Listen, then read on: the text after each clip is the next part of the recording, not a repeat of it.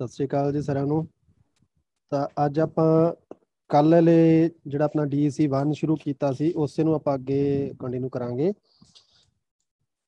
ਕੱਲ ਤੱਕ ਆਪਾਂ ਦੇਖਿਆ ਸੀਗਾ,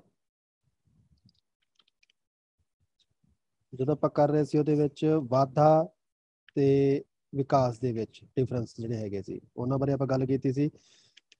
ਤਾਂ ਦੇਖੋ, ਜਿਵੇਂ ਤੁਹਾਡੀਆਂ ਪੇਪਰ ਦੀਆਂ ਡੇਟਸ ਵੀ ਲਗਭਗ ਅਨਾਉਂਸ ਹੋਣ ਵਾਲੀਆਂ ਹੀ ਨੇ ਜਾਂ ਸ਼ਾਇਦ ਹੋ ਚੁੱਕੀਆਂ ਹੋਣਗੀਆਂ 3 ਅਗਸਤ ਦੇ ਆਸ-ਪਾਸ, ਤਾਂ ਆਪਣੇ ਕੋਲ ਟਾਈਮ ਜਿਹੜਾ ਹੈ, ਉਹ ਕਾਫੀ ਘੱਟ ਹੈ। ਸਿਲੇਬਸ ਆਪਣੇ ਕੋਲ ਕਾਫੀ ਹੈ ਕਿਉਂਕਿ ਡੀਸੀ 1 2 ਐਂਡ 3 ਆਪਾਂ ਤਿੰਨੋਂ ਕਰਨੇ ਨੇ।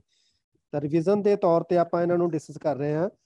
ਥੋੜਾ ਜਿਹਾ ਤੁਸੀਂ ਇਹ ਕੋਸ਼ਿਸ਼ ਕਰੋ ਕਿ ਆਪਣੇ ਆਪ ਵੀ ਹੈਲੋ ਸਰ ਕੁਝ ਬੱਚੇ ਕਹਿ ਰਹੇ ਨੋ ਵਾਇਸ ਥੋੜਾ ਚੈੱਕ ਕਰ ਲਓ ਜੀ ਆਪਣੇ ਐਂਡ ਤੇ ਪ੍ਰੋਬਲਮ ਤਾਂ ਨਹੀਂ?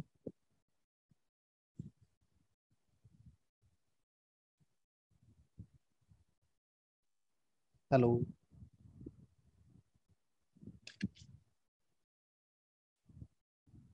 Sir, your voice is coming. Okay then ਆਪਾਂ ਸਟਾਰਟ ਕਰ ਰਹੇ ਹਾਂ ਜੀ ਆਪਾਂ ਕੱਲ ਆਪਾਂ ਕੀਤਾ ਸੀਗਾ वादा और विकास वृद्धि और विकास में अंतर तो जैसे मैं बात कर रहा था कि क्योंकि आपके एग्जाम जो हैं वो लगभग अगस्त में स्टार्ट हो जाएंगे तो उस हिसाब से हमारे पास टाइम बहुत कम होगा क्योंकि तीनों पेपर हमने डिस्कस करने हैं। तो इसलिए मेरा आपके लिए सुझाव ये है कि आप कोशिश करो कि अपने आप भी थोड़ा देखो जो आपके नोट्स हैं।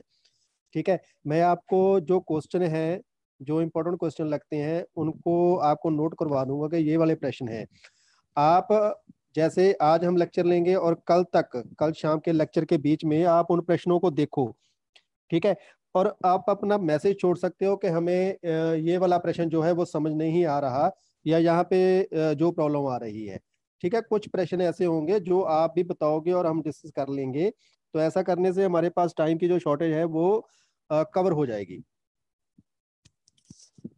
ठीक है जी? आ, तो आज हम करेंगे आगे एक बहुत ही इंपॉर्टेंट प्रश्न है। दसवां प्रश्न है, अगर आपके पास नोट्स है, एक चीज़ और आपके लिए सूचना कि जिन स्टूडेंट्स के पास नोट्स नहीं है तो वो अपने नोट्स जो हैं, वो कलेक्ट कर सकते हैं डीपीडी कॉलेज से। तो अपने पास अगला प्रश्न है, जो इम्पोर्टेंट प्रश्नों में आ जाएगा, वो है विकास के सिद्धांतों का वर्णन कीजिए। ठीक है? Principles of development principle of development विकास के सिद्धांत कौन कौन से हैं? उसके बारे में डिस्कस करें। इसमें क्या होगा? देखो आप ध्यान से इसे सुनना है। आपने बहुत ही महत्वपूर्ण और अच्छा प्रश्न है। यहाँ से आपको शॉर्ट नोट निकल सकता है। कोई एक आपको पॉइंट पूछा जा सकता है। कोई एक प्रिंसिपल पूछा जा सकता है। एक सिद्धांत पूछा जा सकता है। उसके बारे में भी आपको कह सकते हैं। तो आ, बस जो मैं आपको करवा रहा हूँ ना बाकी जो प्रश्न है वो जस्ट आपको एक बार रीडिंग लेने की ज़रूरत रहेगी। पर ये वाले जो मैं करवा रहा हूँ, वो इन सबसे जो कह सकते हैं कि इम्पोर्टेंट है कि इनको करना ज़रूरी है। बहुत ज़्यादा ज़रूरी है, क्योंकि इनमें से प्रश्न जो है हर बार हर बार आते ही है। तो विकास के सिद्धांत। विकास के सिद्धांत का मतलब प्रिंसिपल का मतलब यहाँ पे क्या है कि वो कौन से एस्पेक्ट हैं? वो कौन से पहलू हैं जहाँ से हमें पता चलता है कि विकास हो रहा है किसी बच्चे में? ठीक है? तो उनको उस विकास को चेक करने के कौन कौन से हमारे पास नियम हैं या कौन कौन से हमारे पास देखने लायक चीज़ें हैं जहाँ से हमें पता चल जाएगा कि बच्चे का विकास हो रहा है? तो सबसे पहले है यहाँ पे पहला जो प्रिंसिपल है, पहला सिद्धांत है वो है विकास की दिशा। ठीक है? विकास दिशा, विकास की दिशा का मतलब क्या है कि विकास किस दिशा में हो रहा है? और जहाँ जिस दिशा में होना चाहिए, उस दिशा में हो रहा है या नहीं हो रहा? तो यहाँ पे दो दिशाएँ मानी जाती हैं, सिर से पैर की दिशा में और दूसरा है शरीर के मध्य से बाहर की ओर। पहला है फ्रॉम हेड टू फुट, सिर से पैर की ओर और दूसरा आ जाएगा शरीर के मध्य से बाहर की ओर। From the centre to outward ठीक है जी? तो इसे समझना है आपने ध्यान से कि इसका मुख्य तौर पर मतलब क्या है? क्या निकलता है इसका अर्थ? पहले है हमारे पास सिर से पैर की ओर। तो यहाँ पे आपने ये ध्यान देना है कि जो बच्चा है, जब बच्चा अपनी माता के गर्भ में होता है तो वहाँ पर भी हमें पता होना चाहिए कि सबसे पहले बच्चे का जो आ, सिर है वो बनता है। ठीक है? जो सबसे पहले बच्चे का अंग बनता है वो सिर है। तो उसके बाद सिर के बाद बच्चे का धड़ विकसित होता है फिर उसकी टांगे फिर उसकी आ, उसके जो पैर हैं वो विकसित होते हैं। ठीक है? तो इसे समझने के लिए आपने एक सिंपल जो डायग्राम अगले पेज पर बनी हुई है, उसे भी ध्यान में रखना है और हम इसे थोड़ा सा समझने की कोशिश करते हैं। तो इसे आप कैसे देखोगे कि ये मैं कोशिश कर रहा हूँ थोड़ा सा आपको समझाने की कि जैसे हम आपके जो नोट्स हैं, वहाँ पर भी पिक्चर बनी हुई है। तो उसमें क्या होगा कि जो विकास हम मानते हैं, वो सिर से पैर की दिशा में मानते हैं। ठीक है? इसका तात्पर्य क्या है कि पहले बच्चे का सिर विकसित होता है, फिर उसका धड़ विकसित होता है, फिर उसकी टांगे और फिर जाकर उसके पाँव जो हैं, जो पैर हैं, वो विकसित होते हैं। ठीक है? तो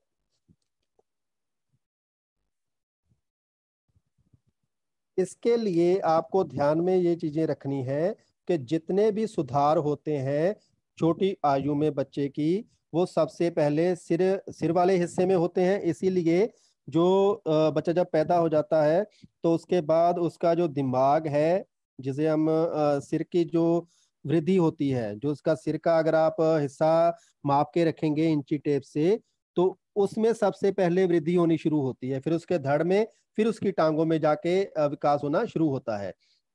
तो यहाँ पे आप दूसरे पहरे में देख सकते हो, जन्म से परिपक्व, एक शब्द बार बार आएगा आपके सामने, परिपक्व परिपक्व का मतलब बालक होना, बड़ा हो जाना।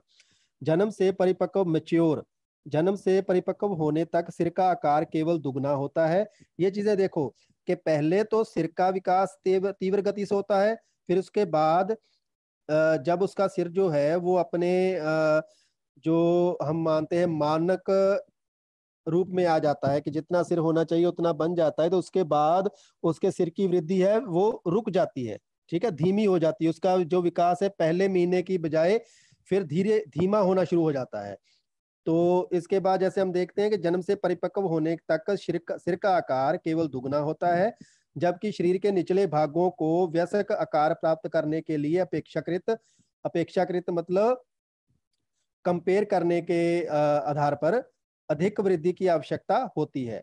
व्यस्क होने तक तक धड़ का हिस्सा लंबाई में तीन गुना, बाहें एवं हाथ लंबाई में चार गुना और टांगे एवं पैर लंबाई में पाँच गुना बढ़ते हैं। ठीक है? जितना जन्म के समय बच्चे का आकार होता है, उसमें इन हिस्सों में वृद्धि इस हिसाब से होती है। तो ये पहला पॉइंट आपने याद रखना है कि सिर से पैर की दिशा में होता है विकास, ठीक है? दूसरा है शरीर के मध्य से बाहर की ओर। तो इसे भी आपने उसी डायग्राम के आधार पर देखना है कि जब हम बच्चे के शरीर को बीच में से दो हिस्सों में बांट लें कि जो हमारी नाभि होती है, वहाँ से अगर हम बीच में हिस्सा बना ले, दो हिस्से बना लें हमारे शरीर के तो जो हमारा मध्य है, मध्य मतलब शरीर के बिल्कुल सेंटर में जो हमारे अंग हैं, उनका विकास पहले होता है, बजाय जैसे जैसे मध्य से बाहर की ओर आते हैं, उन अंगों का विकास देर से होता है। उदाहरण के तौर पर जैसे छोटा बच्चा है, जैसे दो तीन महीने का जब बच्चा हो जाता है, चार महीने का बच्चा हो जाता है तो वो जैसे हम उसे बिस्तर पे डालते हैं, बेड पे लिटाते हैं तो वो क्या करता है कि सबसे पहले उसके पास कोई चीज़ पड़ी है, कोई खिलौना पड़ा है तो उसके, उसे अपनी पूरी की पूरी बाहों में लेने की कोशिश करता है। ठीक है? तो पहले उसकी जो बाजू है, कंधे के पास, बाहें हैं, वो पहले विकसित होती हैं, उनका विकास पहले होता है। फिर धीरे धीरे क्या होता है कि बच्चा किसी चीज को हाथ में पकड़ दोनों हाथों से पकड़ना शुरू कर देता है फिर उसके बाद क्या होता है कि बच्चा किसी भी चीज को एक हाथ से पकड़ना पकड़ने के काबिल हो जाता है फिर उसके बाद वो अपनी उंगलियां चलाना शुरू करता है तो ये आपने नोट किया होगा कि ऐसे ही बच्चे का विकास होता है कि पहले वो चीज को किसी जैसे हम पंजाबी में कहते हैं कलावे ਵਿੱਚ ਲੈਣੀ ਚੀਜ਼ ਨੂੰ ਕਿਸੇ ਨੂੰ ਕਲਾਵੇ ਵਿੱਚ ਲੈਣਾ ਬੁੱਕਲ ਵਿੱਚ ਲੈਣਾ ਤਾਂ ਪੂਰੀ ਦੀ ਪੂਰੀ ਚੀਜ਼ ਨੂੰ ਆਪਣੀਆਂ ਬਾਹਾਂ ਨਾਲ ਪਕੜਨ ਦੀ ਕੋਸ਼ਿਸ਼ ਕਰਦਾ ਫਿਰ ਉਸ ਤੋਂ ਬਾਅਦ ਕੀ ਹੁੰਦਾ ਕਿ ਹੌਲੀ ਹੌਲੀ ਉਹ ਚੀਜ਼ਾਂ ਨੂੰ ਹੱਥ ਪਾਉਣ ਲੱਗ ਜਾਂਦਾ, ਹੱਥਾਂ 'ਚ ਪਕੜਨ ਲੱਗ ਜਾਂਦਾ ਚੀਜ਼ ਨੂੰ। ਫਿਰ ਉਸ ਤੋਂ ਬਾਅਦ ਇੱਕ ਹੱਥ ਨਾਲ ਵੀ ਚੀਜ਼ ਨੂੰ ਪੜਨ ਲੱਗ ਜਾਂਦਾ। ਫਿਰ ਉਸ ਤੋਂ ਬਾਅਦ ਅਖੀਰ ਤੇ ਜਿਵੇਂ ਪੈਨ, ਪੈਨਸਲ ਜਾਂ ਕੋਈ ਪਤਲੀਆਂ ਚੀਜ਼ਾਂ ਜਿਹੜੀਆਂ ਹੈਗੀਆਂ ਨੇ, ਉਹਨਾਂ ਨੂੰ ਵੀ ਆਪਣੇ ਉਂਗਲੀਆਂ ਦੇ ਵਿੱਚ ਪਕੜਨ ਦੇ ਕਾਬਲ ਹੋ ਜਾਂਦਾ ਹੈ। ਤਾਂ ਆਪਾਂ ਕੁਐਸਚਨ ਕਰ ਰਹੇ ਸੀਗੇ ਵਿਕਾਸ ਕੇ ਸਿਧਾਂਤ। 10ਵਾਂ ਪ੍ਰਸ਼ਨ ਹੈਗਾ ਤੁਹਾਡੇ ਨੋਟਸ ਦੇ ਉੱਤੇ, ਉਹਨੂੰ ਆਪਾਂ ਡਿਸਕਸ ਕਰ ਰਹੇ ਹਾਂ। ਤੋ ਸਰੀਰ ਕੇ ਮੱਧ ਸੇ ਬਾਹਰ ਕੀ ਔਰ ਇੱਕ ਚੀਜ਼ ਇੱਥੇ ਹੋਰ ਕਿ ਜਿਹੜੇ ਸੈਂਟਰ ਦੇ ਵਿੱਚ ਸਾਡੇ ਅੰਦਰੂਨੀ ਅੰਗ ਹੁੰਦੇ ਨੇ, ਜਿਵੇਂ ਅਸੀਂ ਕਹਿੰਦੇ ਆ ਕਿ ਜਿਹੜੇ ਆਪਣੇ ਦਿਲ ਹੈ, ਫੇਫੜੇ ਨੇ ਇਹਨਾਂ ਦਾ ਵਿਕਾਸ ਵੀ ਪਹਿਲਾਂ ਹੁੰਦਾ ਹੈ, ਇਹ ਆਪਣੇ ਪੂਰਨ ਰੂਪ ਦੇ ਵਿੱਚ ਆਉਂਦੇ ਨੇ, ਫਿਰ ਉਸ ਤੋਂ ਬਾਅਦ ਸਾਡੇ ਸਰੀਰ ਦੇ ਬਾਹਰੀ ਜਿਹੜੇ ਅੰਗ ਹੈਗੇ ਨੇ, ਉਹਨਾਂ ਦੇ ਵਿਕਾਸ ਹੁੰਦਾ, ਤਾਂ ਉਹਨਾਂ ਦੇ ਵਿੱਚ ਕੀ ਆ ਜਾਂਦੇ, ਆਪਣੇ ਹੱਥ ਆ ਜਾਂਦੇ, ਆਪਣੀ ਉਂਗਲਾਂ ਆ ਜਾਂਦੀਆਂ ਨੇ, ਇਹਨਾਂ ਦਾ ਵਿਕਾਸ ਬਾਅਦ ਵਿੱਚ ਹੁੰਦਾ ਹੈ। ਇਵੇਂ ਹੀ ਅਸੀਂ ਪਹਿਲਾਂ ਦੀ ਗੱਲ ਕੀਤੀ, ਸਿਰ ਤੋਂ ਲੈ, ਸਿਰ ਤੋਂ ਲੈ ਕੇ ਪੈਰਾਂ ਤੱਕ, ਕਿ ਪਹਿਲਾਂ ਜਿਵੇਂ ਬੱਚੇ ਦਾ ਧੜ ਵਿਕਸਿਤ ਹੋਇਆ, ਫਿਰ ਉਸ ਤੋਂ ਬਾਅਦ ਉਹਦੀਆਂ ਲੱਤਾਂ ਵਿਕਸਿਤ ਹੁੰਦੀਆਂ ਨੇ, ਲੱਤਾਂ ਦੇ ਧਿਆਨ ਨਾਲ ਦੇਖੋ ਕਿ ਜੋ ਬੱਚਾ ਤੁਰਦਾ ਹੈ, ਉਦੋਂ ਕੀ ਕਰਦਾ ਕਿ ਪਹਿਲਾਂ ਉਹਦੀਆਂ ਲੱਤਾਂ ਦਾ ਬੈਲੈਂਸ ਬਣਾਉਣਾ ਸ਼ੁਰੂ ਕਰਦਾ ਹੈ। ਠੀਕ ਹੈ ਉੱਠਦਾ ਹੈ, ਲੱਤਾਂ ਚੌੜੀਆਂ ਕਰਕੇ ਤੁਰਦਾ ਹੈ। ਉਹਦੇ ਪੈਰਾਂ ਤੇ ਜਿਹੜਾ ਭਾਰ ਹੈ, ਉਹ ਬਾਅਦ ਵਿੱਚ ਆਪਣੇ ਆਪ ਨੂੰ ਸੰਤੁਲਨ ਦਾ ਪੈਰਾਂ ਤੇ ਸੰਤੁਲਨ, ਉਹ ਬਾਅਦ ਵਿੱਚ ਪੈਦਾ ਕਰਦਾ। ਠੀਕ ਹੈ ਉਹਦੇ ਪੈਰਾਂ ਤੇ ਖੜਾ ਹੁੰਦਾ ਜਿਹੜਾ ਬਲ ਹੈਗਾ, ਉਹਦੇ ਚ ਹੌਲੀ ਹੌਲੀ ਆਉਂਦਾ। ਉਂਗਲਾਂ ਉਹਦੀਆਂ ਹੌਲੀ ਹੌਲੀ ਵਿਕਸਿਤ ਹੁੰਦੀਆਂ ਨੇ ਪੈਰਾਂ ਦੀਆਂ ਉਂਗਲੀਆਂ। ਤਾਂ ਇਸੇ ਤਰ੍ਹਾਂ ਅਸੀਂ ਇਹ ਗੱਲ ਕੀਤੀ ਕਿ ਮੱਧ ਸੇ ਬਾਹਰ ਕੀ ਔਰ ਤਾਂ ਇਹ ਆਪਣੇ ਦੋ ਸੀਗੇ ਪੁਆਇੰਟ पहला पॉइंट है। पहले पॉइंट ਪੁਆਇंट ਦੇ ਅੱਗੇ ਆਪਣੇ ਕੋਲ ਦੋ ਪੁਆਇੰਟ ਬਣ ਗਏ ਵਿਕਾਸ ਦੀ ਦਿਸ਼ਾ ਵਿਕਾਸ ਦੀ ਕਿੰਨੀ ਦਿਸ਼ਾएँ ਹੋ ਸਕਤੀ ਹੈ ठीक है?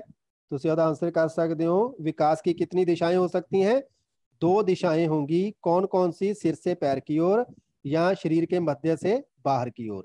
ठीक है? तो आपके पास तो आपके पास है दो दिशाएँ। ये प्रश्न हमारा था विकास के सिद्धांत। उसमें आप पहला पॉइंट कर रहे थे विकास की दिशा। ठीक है, पहला है हेड टू फुट और दूसरा क्या आ जाएगा?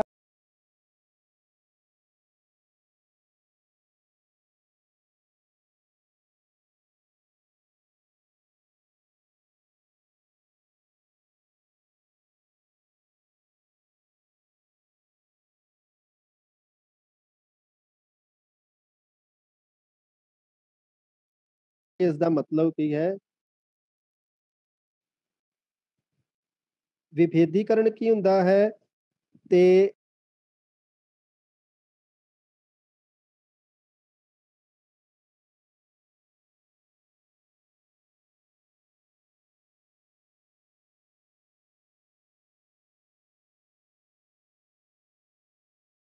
ਇਸ ਦਾ ਮਤਲਬ ਕੀ ਹੈ ਵਿਭੇਦੀਕਰਨ ਕੀ ਹੁੰਦਾ ਹੈ ਤੇ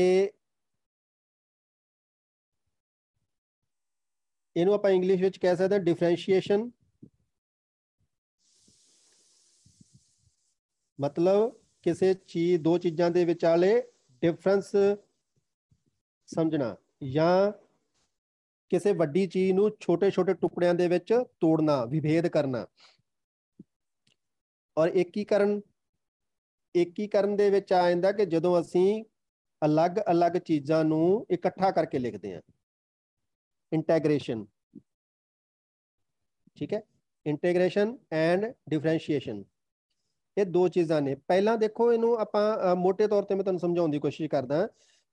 ਕਿ ਸਭ ਤੋਂ ਪਹਿਲਾਂ ਜਿਵੇਂ ਅਸੀਂ ਆਪਦੇ ਸਰੀਰ ਦੀ ਗੱਲ ਕਰਦੇ ਹਾਂ, ਤਾਂ ਸਾਡਾ ਸਰੀਰ ਜਦੋਂ ਇਕੱਠਾ ਹੈ, ਤਾਂ ਉਹ ਕਿਸ ਤਰ੍ਹਾਂ ਦੀ ਕਨਸੈਪਟ ਦੇ ਵਿੱਚ ਅਸੀਂ ਲਵਾਂਗੇ ਉਹਨੂੰ? ਦੋਨਾਂ ਦੇ ਵਿੱਚੋਂ, ਏਕੀਕਰਨ ਤੇ ਵਿਭੇਦੀਕਰਨ ਦੇ ਵਿੱਚੋਂ। ਜਦੋਂ ਅਸੀਂ ਪੂਰੇ ਸਰੀਰ ਦੀ ਗੱਲ ਕਰਦੇ ਹਾਂ, ਤਾਂ ਉੱਥੇ ਅਸੀਂ ਗੱਲ ਕਰਾਂਗੇ ਏਕੀਕਰਨ ਦੀ। ਠੀਕ ਹੈ, ਕਿਉਂਕਿ ਸਰੀਰ ਇੱਕ ਇਕਾਈ ਦੇ ਤੌਰ ਤੇ ਆਪਣੇ ਸਾਹਮਣੇ ਆ ਰਿਹਾ ਹੈ।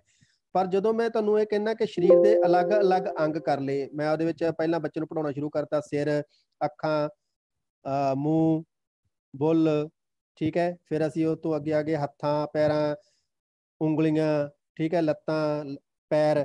ਇਹ ਚੀਜ਼ਾਂ ਜਦੋਂ ਅਸੀਂ ਪੜਾਉਣੇ ਆ, ਤੇ ਸਾਰੀਆਂ ਚੀਜ਼ਾਂ ਅਲੱਗ-ਅਲੱਗ ਹੋ ਗਈਆਂ। ਪਹਿਲਾਂ ਅਸੀਂ ਸਰੀਰ ਦੀ ਗੱਲ ਕਰ ਰਹੇ ਸੀਗੇ, ਉਹ ਏਕੀਕਰਨ ਦੀ ਉਦਾਹਰਨ ਹੋਗੀ ਜਦੋਂ ਅਸੀਂ ਅਲੱਗ-ਅਲੱਗ ਸਰੀਰ ਦੇ ਪਾਰਟਸ ਦੀ ਗੱਲ ਕਰ ਰਹੇ ਆ ਸਰੀਰ ਦੇ ਅੰਗਾਂ ਦੀ ਗੱਲ ਕਰ ਰਹੇ ਹਾਂ ਤਾਂ ਉੱਥੇ ਅਸੀਂ ਗੱਲ ਕਾਦੀ ਕਰ ਰਹੇ ਹਾਂ? ਵਿਭੇਦੀਕਰਨ ਦੀ, ਅਲੱਗ-ਅਲੱਗ ਕਰ ਦਿੱਤਾ। ਠੀਕ ਹੈ? ਹੁਣ ਇਸੇ ਚੀਜ਼ ਨੂੰ ਸਰੀਰ ਦੇ ਅੰਦਰ ਦੇਖ ਲਈਏ ਅਸੀਂ, ਸਭ ਤੋਂ ਪਹਿਲਾਂ ਸਰੀਰ ਦੇ ਵਿੱਚ ਕੀ ਬੰਦਾ ਕੋਸ਼ਿਕਾ ਬੰਦੀ ਆ ਠੀਕ ਹੈ? ਸਭ ਤੋਂ ਪਹਿਲਾਂ ਸਰੀਰ ਦੇ ਵਿੱਚ ਕੋਸ਼ਿਕਾ ਬੰਦੀ ਹੈ। ਕੋਸ਼ਿਕਾਵਾਂ ਜੁੜਦੀਆਂ ਨੇ। ਜਦੋਂ ਕੋਸ਼ਿਕਾਵਾਂ ਜੁੜਦੀਆਂ ਨੇ ਜਾਂ ਇੱਕ ਤੋਂ ਵੱਧਦੀਆਂ ਨੇ, ਇੱਕ ਦੂਸਰੇ ਨਾਲ ਜੁੜ ਕੇ ਵੱਡੀਆਂ ਕੋਸ਼ਿਕਾਵਾਂ ਬਣਾਉਂਦੀਆਂ ਨੇ ਔਰ ਉਹਨਾਂ ਦੇ ਵਿੱਚ ਫਿਰ ਅੱਗੇ ਜਾ ਕੇ ਬਣ ਜਾਂਦੇ ਆ ਉਤਕ ਉਤਕ ਕਹਿੰਦੇ ਸੈੱਲ ਨੂੰ ਠੀਕ ਹੈ ਸੈੱਲ ਬਣਦੇ ਆ ਸੈੱਲ ਤੋਂ ਅੱਗੇ ਫਿਰ ਕੀ ਹੋ ਜਾਂਦਾ ਇੰਦਰੀਆਂ ਹੱਡੀਆਂ ਰਕਤ ਆਦ ਇਹ ਸਾਰੇ ਹਰੇਕ ਜਿਹੜੇ ਆਪਣੇ ਉਤਕ ਹੈਗੇ ਨੇ ਉਹਨਾਂ ਦਾ ਅਲੱਗ-ਅਲੱਗ ਕੰਮ ਹੈ ਥੋੜਾ ਜਿਹਾ ਇਹਨੂੰ ਕਿਉਂਕਿ ਇੱਥੇ ਜਿਹੜਾ ਤੁਹਾਨੂੰ ਬਹੁਤ ਜ਼ਿਆਦਾ ਡੀਪ ਦਿੱਤਾ ਆ ਜਿਹੜਾ ਸਮਝਾਉਣ ਦੀ ਕੋਸ਼ਿਸ਼ ਕਰ ਰਿਹਾ ਕਿ ਜਦੋਂ ਅਸੀਂ ਕਿਸੇ ਇੱਕ ਚੀਜ਼ ਨੂੰ, ਕਿਸੇ ਇੱਕ ਕਨਸੈਪਟ ਨੂੰ ਪੂਰੇ ਤੌਰ ਤੇ ਪੜ੍ਹਦੇ ਆ ਤਾਂ ਉਹਨੂੰ ਆਪਾਂ ਕਵਾਂਗੇ ਏਕੀਕਰਨ ਦੀ ਉਦਾਹਰਨ। ਜਦੋਂ ਅਸੀਂ ਉਹਨੂੰ ਤੋੜ ਕੇ ਪੜਾਂਗੇ ਸਰੀਰ ਦੇ ਅਲੱਗ-ਅਲੱਗ ਪਾਰਟਸ ਹੈਗੇ ਨੇ, ਉਹਨਾਂ ਨੂੰ ਅਲੱਗ-ਅਲੱਗ ਤੌਰ ਤੇ ਪੜਾਂਗੇ ਤਾਂ ਉਦੋਂ ਅਸੀਂ ਗੱਲ ਕਰਾਂਗੇ ਵਿਭੇਦੀਕਰਨ ਦੀ।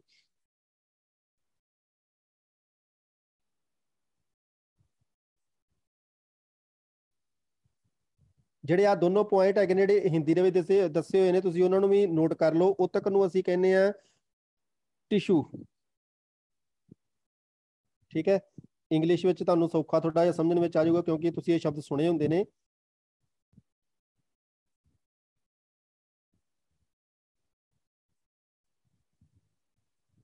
ਕੋਸ਼ਿਕਾ ਹੋਏਗਾ ਆਪਣੇ ਕੋਲ ਸੈੱਲ।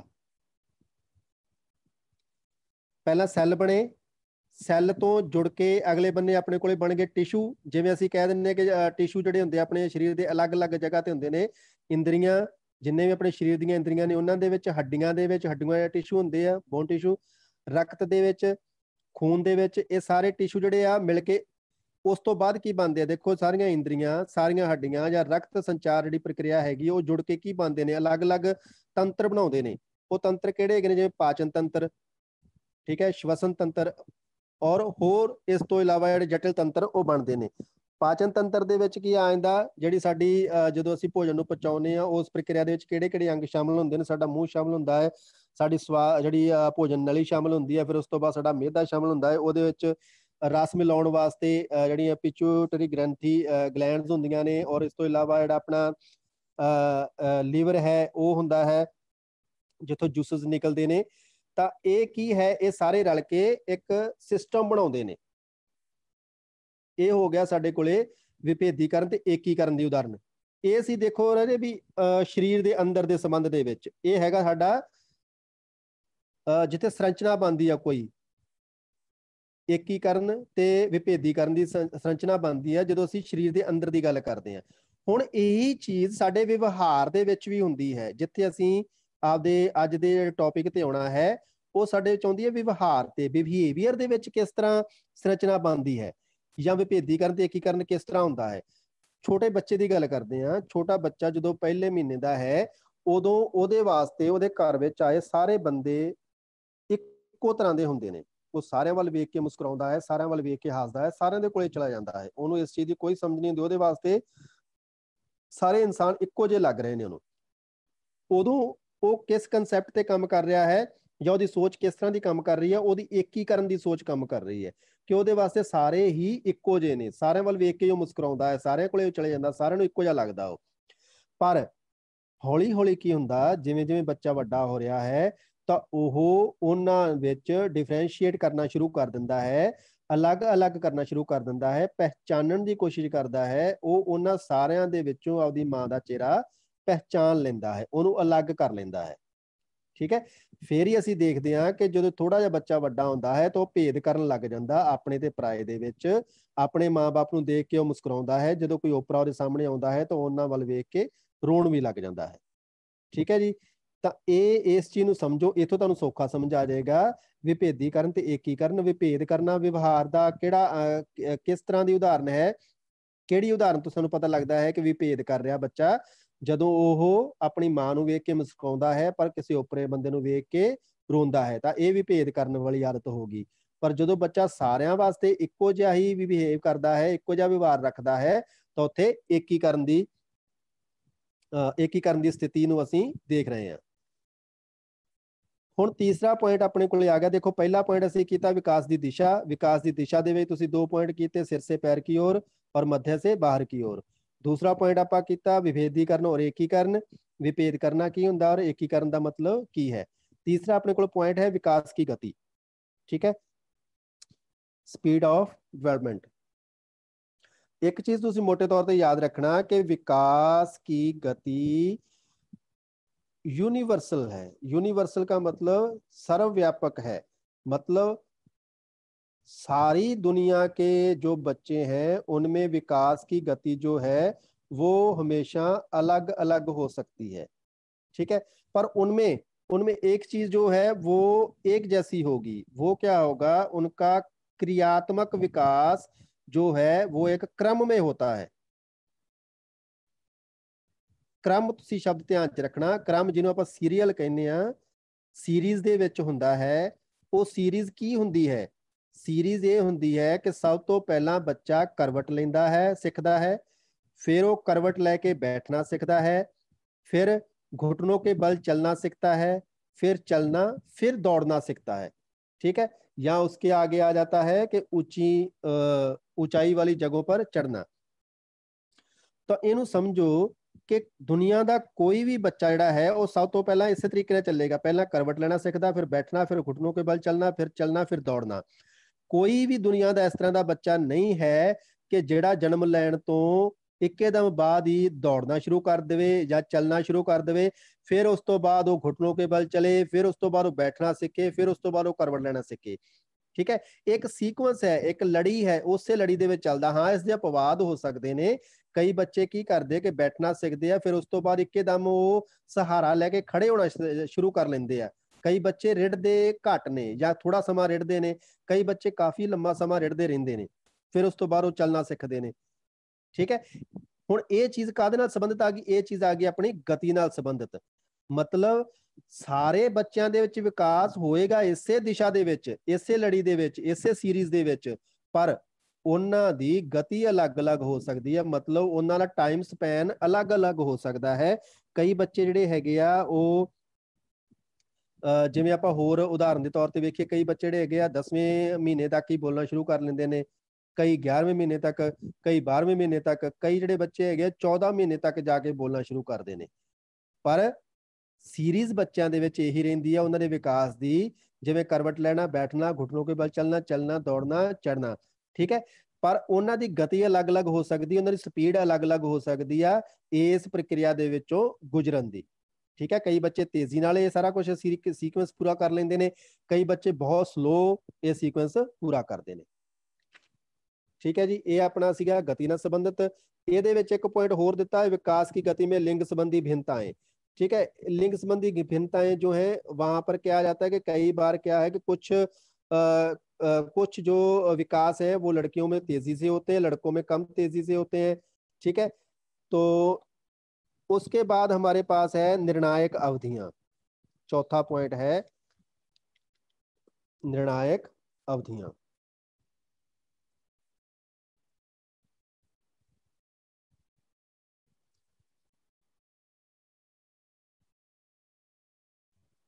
यह बहुत ही इंपॉर्टेंट पॉइंट है ਕਿਉਂਕਿ ਇਹ ਪੇਪਰ ਦੇ ਵਿੱਚ ਇਕੱਲੇ ਤੌਰ ਤੇ ਆ ਚੁੱਕਾ ਹੈ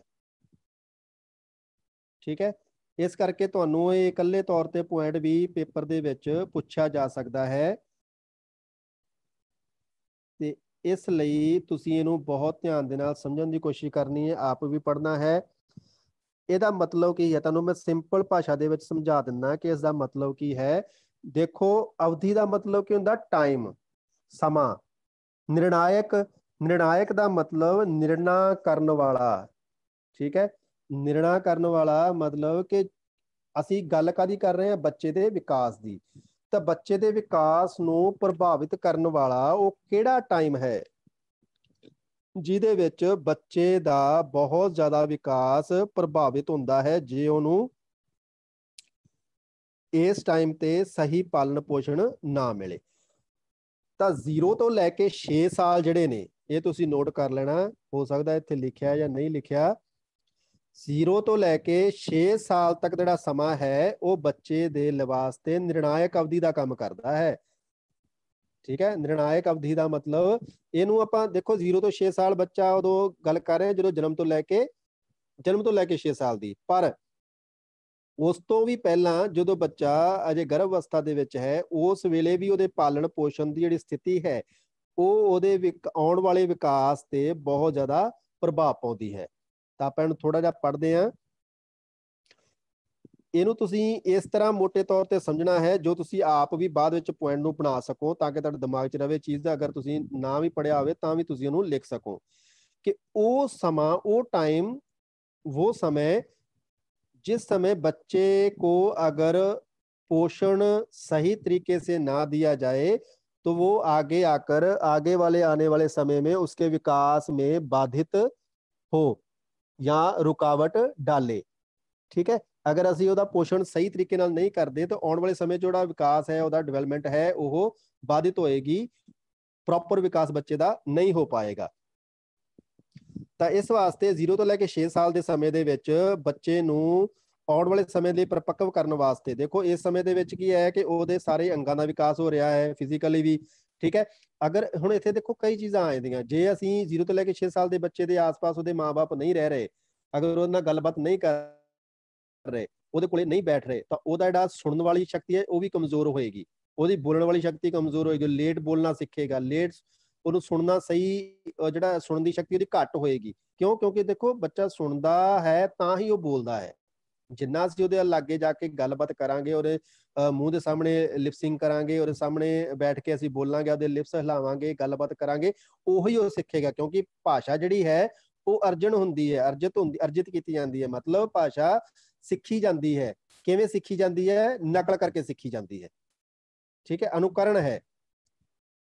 ਤਾਂ ਇਸ ਵਾਸਤੇ ਤੁਸੀਂ ਇਹਨਾਂ ਚੀਜ਼ਾਂ ਨੂੰ ਧਿਆਨ ਵਿੱਚ ਰੱਖਣਾ ਹੈ ਕਿ ਜਿਵੇਂ ਅਸੀਂ ਗੱਲ ਕਰਦੇ ਹਾਂ ਕਿ ਜੈਵਿਕ ਰੂਪ ਸੇ ਤਿਆਰ ਹੋਣਾ ਹੀ ਪਰਿਪੱਕਤਾ ਪਰਿਪੱਕਵਤਾ कहलाता है biological readiness refers to maturation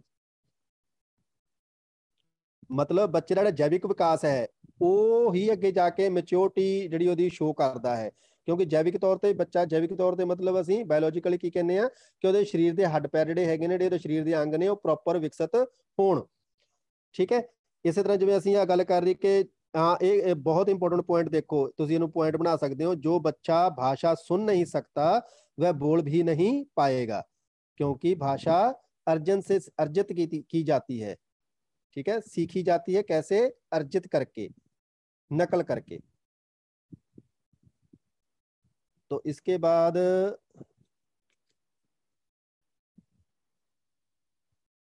हाँ तो जैसे हमने बात की कि गर्भावस्था में जैसे बच्चे को अगर उसकी माता को कोई प्रॉब्लम हो रही है अगर उसकी माता को कोई गंभीर बीमारी है तो वो बच्चे को भी हो सकती है। या अगर उसे सही खुराक नहीं दी जा रही माता को तो उसको उसके जो बच्चा है वो भी आ, किसी ना किसी बीमारी से ग्रस्त हो सकता है। हाँ भावात्मक विकास में भी निर्णायक अवधियाँ होती हैं। ठीक है? इसे भी आप ध्यान से देखो। प्रथम छह महीने में बालिका अपना पहला सामाजिक संबंध पालनकर्ता से स्थापित करती है। ठीक है? क्योंकि देखो कि छोटी उम्र में जो पहला महीना होता है, वहाँ पर बच्चा सबसे ज़्यादा किसके संपर्क में होता है? सिर्फ़ अपनी माता और घर वाले को, घर वालों के संबंध में होता है। ठीक है? तो अगर वहाँ पर बच्चों को, बच्चे को सही पालन पोषण नहीं दिया जा रहा उसके साथ बातचीत नहीं की जा रही तो वो क्या होता है कि ऐसे बच्चे बेचैन दिखाई दिखाई देते हैं। वो किसी दूसरे के साथ भावात्मक संबंध स्थापित नहीं कर पाते, ठीक है? वो ज़्यादा रोते हैं, भयभीत रहते हैं, लोगों के प्रति प्रतिक्रिया नहीं दिखाते, सामाजिक संबंध बनाने से पीछे हटते हैं, ठीक है? पीछे रह जाते हैं ऐसे बच्चे। तो ये जीवन के प्रथम छह महीने निर्णायक होते हैं बच्चे के भावात्मक विकास के लिए, ठीक है? ਤੋ ਇਹਨਾਂ ਚੀਜ਼ਾਂ ਨੂੰ ਤੁਸੀਂ ਇੱਕ ਵਾਰੀ ਦੁਬਾਰਾ ਰੀਡ ਕਰ ਲੈਣਾ ਹੈ। ਅਗਰ ਤੁਹਾਨੂੰ ਕੋਈ ਦਿੱਕਤ ਲੱਗੇ ਕਿਸੇ ਚੀਜ਼ ਦੀ, ਤਾਂ ਤੁਸੀਂ ਉਹਨੂੰ ਉਹਦਾ ਕੁਐਸਚਨ ਛੱਡ ਸਕਦੇ ਹੋ ਕਿ ਸਾਨੂੰ ਇਸ ਚੀਜ਼ ਦੀ ਪੁਆਇੰਟ ਦੀ, ਇਸ ਪੁਆਇੰਟ ਦੀ ਪ੍ਰੋਬਲਮ ਆ ਰਹੀ ਹੈ, ਨਹੀਂ ਸਮਝ ਆ ਰਿਹਾ। ਤਾਂ ਆਪਣੇ ਕੋਲ ਇਹ ਪੁਆਇੰਟ ਸੀਗਾ, ਆਪਣਾ ਪ੍ਰਸ਼ਨ ਸੀਗਾ, ਵਿਕਾਸ ਕੇ ਸਿਧਾਂਤ ਪ੍ਰਿੰਸੀਪਲ ਆਫ ਡਿਵੈਲਪਮੈਂਟ ਇਹਦੇ ਵਿੱਚ ਅਸੀਂ ਚਾਰ ਚੀਜ਼ਾਂ ਪੜੀਆਂ ਵਿਕਾਸ ਕੀ ਦਿਸ਼ਾ। ਦੂਸਰਾ ਅਸੀਂ ਪੜਿਆ ਵਿਭੇਦੀਕਰਨ ਔਰ ਏਕੀਕਰਨ। ਤੀਸਰਾ, ਵਿਕਾਸ ਕੀ ਗਤੀ। ਚੌਥਾ, ਨਿਰਣਾਇਕ ਅਵਧੀਆਂ। ਠੀਕ ਹੈ? ਇਹਨਾਂ ਚਾਰਾਂ ਪੁਆਇੰਟਾਂ 'ਚ ਕੋਈ ਦਿੱਕਤ ਲੱਗੇ, ਤੁਸੀਂ ਇਹਨੂੰ ਪੁੱਛ ਸਕਦੇ ਹੋ। ਉਸ ਤੋਂ ਬਾਅਦ ਅੱਗੇ ਅਸੀਂ ਤੁਹਾਨੂੰ ਮੈਂ ਸ਼ਾਰਟ ਵਿੱਚ ਦੱਸ ਦੂੰਗਾ ਤੁਸੀਂ ਇਹਨੂੰ ਪੜ੍ਹ ਲੈਣਾ ਆਪਣੇ ਆਪ अगला ग्यारहवा प्रश्न हैगा विकास को प्रभावित करने वाले कारकों का विस्तार पूर्वक चर्चा कीजिए विकास को प्रभावित करने वाले कारक कौन से हैं इसमें यहाँ पर अलग से भी आपको पूछ सकते हैं अनुवंशिता या परिपक्वता और परिवेश अनुवंशिता क्या होती है हेरिडिटी हेरिडिटी जिसे हम कहते हैं परिवेश परिवेश क्या होता है हमारा आस पड़ोस ठीक है हमारा जिसे पंजाबी आप कहने आला दुआला भूगोलिक स्थिति परिपक्वता मैच्योरिटी ਤਾਂ ਇਹਨਾਂ ਦੇ ਆਧਾਰ ਤੇ ਤੁਹਾਨੂੰ ਪ੍ਰਸ਼ਨ ਕਿਵੇਂ ਆ ਸਕਦਾ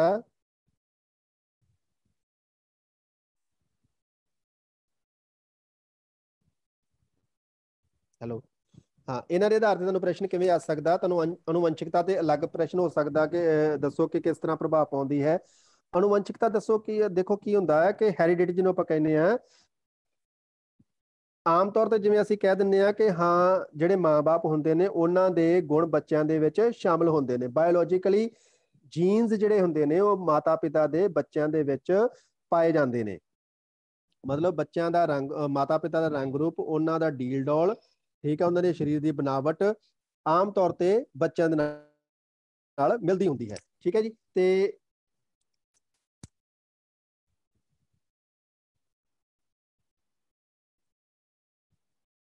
ਬਸ ਇਹਨੂੰ ਤੁਸੀਂ ਪੜ ਸਕਦੇ ਹੋ, ਕੋਈ ਇਹਦੇ ਵਿੱਚ ਜ਼ਿਆਦਾ ਮੇਰੇ ਕਰਵਾਉਣ ਵਾਲਾ ਨਹੀਂ ਹੋਏਗਾ। ਅਗਰ ਤੁਹਾਨੂੰ ਕਿਤੇ ਕੋਈ ਦਿੱਕਤ ਲੱਗੇ, ਤੁਸੀਂ ਇਹਨੂੰ ਪੁੱਛ ਸਕਦੇ ਹੋ।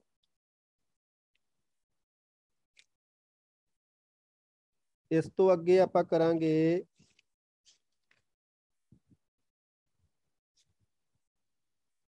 ਤੁਸੀਂ ਕਰਨਾ ਹੈ ਇਸ ਤੋਂ ਬਾਅਦ ਤੁਸੀਂ ਨੋਟ ਕਰ ਲਓ 15ਵਾਂ ਪ੍ਰਸ਼ਨ ਜਿਹੜਾ ਤੁਹਾਡੇ ਪੜਨ ਵਾਲਾ ਹੋਏਗਾ हाँ एक बारवा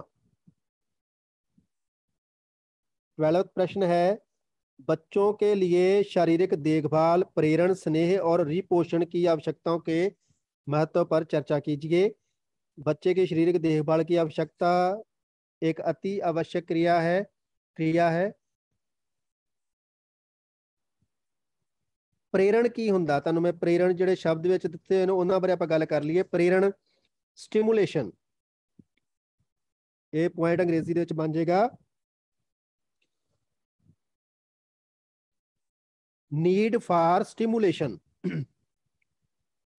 ਸਟਿਮੂਲੇਸ਼ਨ ਕੀ ਹੁੰਦਾ? ਜਿਵੇਂ ਆਪਾਂ ਇਹਨੂੰ ਤੁਸੀਂ ਆਪਦੇ ਜੇ ਬੀਐਡ ਕੀਤੀ ਜਾਂ ਈਟੀਡੀ ਕੀਤੀ, ਉਹਦੇ ਚ ਕਿਤੇ ਪੜਿਆ ਹੋਏਗਾ। ਉਦੀਪਕ। ਕੋਈ ਚੀਜ਼ ਸਾਨੂੰ ਪ੍ਰੇਰਿਤ ਕਰਦੀ ਹੋਵੇ ਉਹਨੂੰ ਅਸੀਂ ਪ੍ਰੇਰਣ ਕਹਿ ਦਿੰਨੇ ਆ ਜਿਹੜੀ ਚੀਜ਼ ਨੂੰ ਅਸੀਂ ਪ੍ਰੇਰਿਤ ਹੋ ਕੇ ਕੋਈ ਨਵਾਂ ਕੰਮ ਕਰਦੇ ਆ ਆਮ ਤੌਰ ਤੇ ਕੀ ਹੁੰਦਾ ਕਿ ਬੱਚਾ ਹਰੇਕ ਚੀਜ਼ ਵਾਸਤੇ ਹਰੇਕ ਚੀਜ਼ ਵਾਸਤੇ ਆਪਣੀ ਪ੍ਰਤੀਕਿਰਿਆ ਦਿੰਦਾ ਹੈ ਅਗਰ ਅਸੀਂ ਉਹਦੇ ਸਾਹਮਣੇ ਕੋਈ ਐਕਟੀਵਿਟੀ ਨਹੀਂ ਕਰਦੇ ਹਰੇਕ ਜਿਵੇਂ ਕਿਰਿਆ ਦਾ ਪ੍ਰਤੀਕਿਰਿਆ ਹੁੰਦੀ ਹੈ ਉਸੇ ਤਰ੍ਹਾਂ ਹੀ ਅਗਰ ਅਸੀਂ ਬੱਚੇ ਸਾਹਮਣੇ ਐਕਟੀਵਿਟੀ ਕਰਾਂਗੇ ਤਾਂ ਉਹ ਉਹਦਾ ਕੋਈ ਨਾ ਕੋਈ ਰਿਸਪੌਂਸ ਜ਼ਰੂਰ ਦੇਏਗੀ ਜਿਵੇਂ ਅਸੀਂ ਕਹਿੰਦੇ ਕਿ ਪਿਤਾ ਦੀ ਮੁਸਕਰਾਹਟ ਉਨਕੇ ਪ੍ਰਤ ਸੋਹਣ ਪ੍ਰੋਤਸਾਹਨ ਜਦੋਂ ਅਸੀਂ ਬੱਚੇ ਨੂੰ ਸ਼ਾਬਾਸ਼ ਦਿੰਨੇ ਆ ਜਦੋਂ ਅਸੀਂ ਬੱਚੇ ਨੂੰ ਹੌਸਲਾ ਅਫਜ਼ਾਈ ਕਰਦੇ ਆ ਠੀਕ ਹੈ ਜਦੋਂ ਬੱਚਾ ਕੋਈ ਐਕਟੀਵਿਟੀ ਕਰਦਾ ਜੇ ਛੋਟਾ ਬੱਚਾ ਜਿਵੇਂ ਮੰਨ ਲਓ 6 ਮਹੀਨੇ ਦਾ ਬੱਚਾ ਹੀ ਆ ਅਗਰ ਅਸੀਂ ਉਹਦੇ ਕੋਲੇ ਜਾ ਕੇ ਕੋਈ ਐਕਟੀਵਿਟੀ ਕਰ ਰਿਹਾ ਹੱਥ ਪੈਰ ਹਿਲਾ ਰਿਹਾ ਖੁਸ਼ ਹੋ ਰਿਹਾ ਤੇ ਜੇ ਅਸੀਂ ਵੀ ਉਹਦੇ ਕੋਲੇ ਜਾ ਕੇ ਖੁਸ਼ ਹੋਈਏ ਠੀਕ ਹੈ ਉਹਦੇ ਸਾਹਮਣੇ ਜਾ ਕੇ ਮੁਸਕਰਾਈਏ ਜਾਂ ਉਹਦੇ ਨਾਲ ਕੋਈ ਸ਼ਰਾਰਤ ਕਰੀਏ ਤਾਂ ਉਹ ਅੱਗੋਂ ਹੋਰ ਜ਼ਿਆਦਾ ਮੁਸਕਰਾਉਂਦਾ ਹੈ ਠੀਕ ਹੈ ਉਸ ਐਕਟੀਵਿਟੀ ਨੂੰ ਹੋਰ ਤੇਜ਼ੀ ਨਾਲ ਕਰਦਾ ਹੈ ਹੋਰ ਵਧੀਆ ਤਰੀਕੇ ਨਾਲ ਕਰਦਾ ਹੈ ਤਾਂ ਇਹ ਚੀਜ਼ਾਂ ਉਹਦੇ ਵਾਸਤੇ ਕੀ ਕਰਦੀਆਂ ਨੇ? ਪ੍ਰੇਰਣ ਦਾ ਕੰਮ ਕਰਦੀਆਂ ਨੇ। ਤੇ ਇਹਨੂੰ ਤੁਸੀਂ ਪੜ੍ਹ ਸਕਦੇ ਹੋ। ਉਸ ਤੋਂ ਅੱਗੇ ਹੈ ਸਨੇਹ ਔਰ ਪਰਿਪੋਸ਼ਣ। ਦੇਖੋ ਸਨੇਹ ਬੱਚੇ ਵਾਸਤੇ ਸਨੇਹ ਜਿਹੜਾ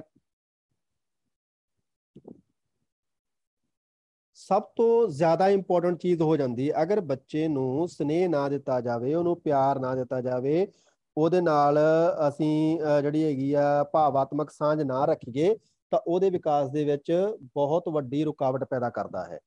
ਠੀਕ ਹੈ, ਸਨੇਹਮਈ ਜਿਹੜਾ ਵਿਵਹਾਰ ਹੁੰਦਾ ਬੱਚੇ ਦਾ, ਉਹਦੇ ਵਿੱਚੋਂ ਡਰ ਨੂੰ ਖਤਮ ਕਰਦਾ ਹੈ।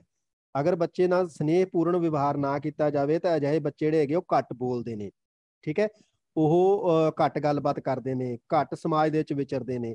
ਤਾਂ ਅਜਿਹੀਆਂ ਚੀਜ਼ਾਂ ਨੂੰ ਦੂਰ ਕਰਨ ਵਾਸਤੇ ਕੀ ਕਰਨਾ ਚਾਹੀਦਾ ਕਿ ਪਾਲਣਕਰਤਾ ਨੂੰ, ਜਿਹੜੀ ਉਹਦੇ ਪਾਲਣ ਕਰਤਾ ਹੈ, ਜਿਹੜੇ ਉਹਦੇ ਕੇਅਰ ਟੇਕਰ ਨੇ ਕੇਅਰ ਗਿਵਰ ਨੇ, ਉਹਨਾਂ ਨੂੰ ਚਾਹੀਦਾ ਕਿ ਬੱਚੇ ਨਾਲ ਸਨੇਹਪੂਰਨ ਵਿਵਹਾਰ ਰੱਖਣ। ਠੀਕ ਹੈ, ਅਗਰ ਬੱਚਾ ਰੋਂਦਾ ਹੈ ਸ਼ਰਾਰਤ ਕਰਦਾ ਹੈ ਜਾਂ ਜ਼ਿੱਦ ਕਰਦਾ ਹੈ, ਤਾਂ ਉਹਦਾ ਕਾਰਨ ਪਤਾ ਹੋਣਾ ਚਾਹੀਦਾ, ਕਾਰਨ ਪਤਾ ਕਰਨਾ ਚਾਹੀਦਾ ਕਿ ਕਿਸ ਕਾਰਨ ਕਰਕੇ ਉਹ ਇਹ ਪ੍ਰੋਬਲਮ ਨੂੰ ਹੋ ਰਹੀ ਹੈ। ਠੀਕ ਹੈ ਜੀ, ਇਹ ਪੁਆਇੰਟ ਤੁਸੀਂ ਡਿਸਕਸ ਕਰਨਾ ਹੈ, ਪੜ੍ਹਨਾ ਤੁਸੀਂ ਆਪ। ਉਸ ਤੋਂ ਬਾਅਦ ਤੁਸੀਂ 15ਵਾਂ ਪ੍ਰਸ਼ਨ ਪੜ੍ਹਨਾ ਹੈ 12ਵਾਂ 15ਵਾਂ ਸਿੰਪਲ ਪੜਨ ਵਾਲਾ ਹੈ, ਕੋਈ ਜ਼ਿਆਦਾ ਇਹਦੇ ਵਿੱਚ ਸਮਝਾਉਣ ਵਾਲੀ ਚੀਜ਼ ਨਹੀਂ ਹੈ। ਬੱਚੇ ਦੇ ਕਿਹੜੇ ਕਿਹੜੇ ਅਧਿਕਾਰ ਨੇ? ਬਿਲਕੁਲ ਜੀ, ਉਹਨਾਂ ਦੀ ਡਿਵੈਲਪਮੈਂਟ ਵੀ ਸਹੀ ਤਰ੍ਹਾਂ ਨਹੀਂ ਹੁੰਦੀ। ਜੇ ਅਸੀਂ ਬੱਚਿਆਂ ਨੂੰ ਸਨੇਹ ਨਹੀਂ ਦਿੰਦੇ, ਪਿਆਰ ਨਹੀਂ ਦਿੰਦੇ ਬੱਚਿਆਂ ਨੂੰ, ਤਾਂ ਇਹ ਚੀਜ਼ਾਂ ਉਹਨਾਂ ਦੇ ਵਿੱਚ ਗਾਂ ਜਾ ਕੇ ਪ੍ਰੋਬਲਮ ਪੈਦਾ ਕਰਦੀਆਂ ਨੇ।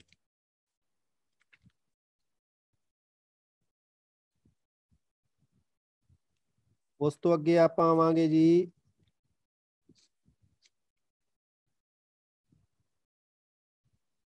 ਤੁਸੀਂ 15ਵਾਂ ਨੋਟ ਕਰ ਲਿਆ 12ਵਾਂ ਨੋਟ ਕਰ ਲਿਆ ਫਿਰ ਉਸ ਤੋਂ ਬਾਅਦ ਅਸੀਂ ਗੱਲ ਕਰਾਂਗੇ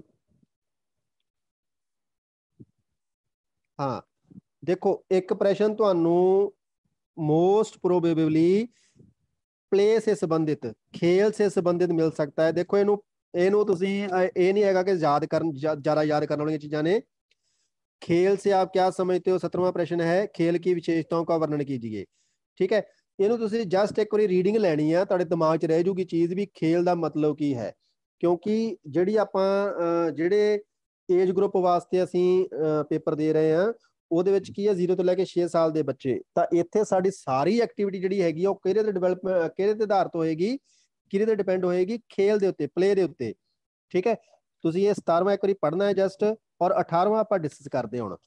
18ਵਾਂ ਪ੍ਰਸ਼ਨ ਹੈਗਾ, ਬੱਚੋਂ ਕੇ ਖੇਲ ਮੇ ਵਿਕਾਸ बच्चों के विकास में खेल की भूमिका ठीक है रोल ऑफ प्ले इतने प्ले लिखा होएगा role of play in development of a child ठीक है बच्चे के विकास के खेल की की भूमिका होंगी है तो देखो की की होंगे खेल की करता प्ले की करता कल्पनाशीलता और सृजनात्मकता को बढ़ावा देता है ਜਦੋਂ ਬੱਚੇ ਨੂੰ ਅਸੀਂ ਖੇਡ ਦੇ ਵਿੱਚ ਪਾਉਨੇ ਆ ਜਦੋਂ ਬੱਚਿਆਂ ਨਾਲ ਅਸੀਂ ਗਰੁੱਪ ਦੇ ਵਿੱਚ ਕੋਈ ਨਾ ਕੋਈ ਪਲੇਵੇ ਐਕਟੀਵਿਟੀ ਕਰਦੇ ਆ हम्म। पहला पॉइंट तुम लिखना imagination and creativity imagination and creativity कल्पनाशीलता की होंगी इमेजिनेशन सृजनात्मकता की होंगी क्रिएटिविटी क्रिएशन करना नवी नवी चीज़ों क्रिएट करने की कोशिश करना। ठीक है जी? तो दूसरा पॉइंट अपने को है, खेल संज्ञानात्मक विकास को बढ़ावा देता है। To promote cognitive development. खेल संज्ञानात्मक विकास को बढ़ावा देता है। कॉग्निटिव बौद्धिक विकास जो हमारा है संज्ञानात्मक विकास है जो हमारी भावनाओं को समझने आ, आ, सही समय पर सही भावना को प्रकट करने की जो योग्यता है उसको विकसित करता है। ठीक है? ये की होंगे कि जिमें बच्चे बच्चों खेल के दौरान बच्चों को वस्तुओं को छूने उन्हें ध्यान से देखने और आसपास के वातावरण की छानबीन करने का मौका मिलता है इससे उन्हें अपने मन में उठते हुए अनेक प्रश्नों का उत्तर मिलता है खेल क्रियाओं के माध्यम से वे आम घटित घटनाओं के घटित होने के कारण भी समझने लगते हैं ठीक है ਅਸੀਂ ਬੱਚਿਆਂ ਨੂੰ ਜਦੋਂ ਬਾਹਰ ਗਰਾਊਂਡ ਦੇ ਵਿੱਚ ਲੈ ਕੇ ਜਾਂਦੇ ਆ ਫੁੱਲਾਂ ਦੇ ਬਗੀਚੇ ਦੇ ਕੋਲੇ ਲੈ ਕੇ ਜਾਂਦੇ ਆ ਤਾਂ ਉੱਥੇ ਬੱਚੇ ਕੀ ਦੇਖਦੇ ਨੇ ਬੱਚੇ ਉੱਥੇ ਫੁੱਲ ਦੇਖਦੇ ਨੇ ਠੀਕ ਹੈ ਜਾਂ ਅਜੇ ਹੈਲੋ ਹਾਂਜੀ ਐਕਸਕਿਊਜ਼ ਮੀ ਸਰ ਜੀ ਸਰ ਟਾਈਮ ਅਪ ਹੋਣ ਵਾਲਾ ਹੈ ਜੀ ਬਸ ਮੈਂ ਇਹਨਾਂ ਨੂੰ ਪੁਆਇੰਟ ਕੋਈ ਨੋਟ ਕਰਵਾ ਦਾਂ ਫਿਰ ਪੱਕਾ ਗੱਲ ਕਰਦੇ ਜੀ ਪੁਆਇੰਟ ਹਾਂ ਹਾਂ ਬਿਲਕੁਲ ਬਿਲਕੁਲ